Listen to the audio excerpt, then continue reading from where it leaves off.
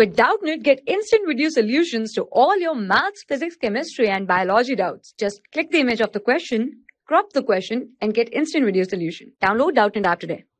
If A is an invertible matrix, then which of the following is correct? We have been given that A is invertible matrix, right?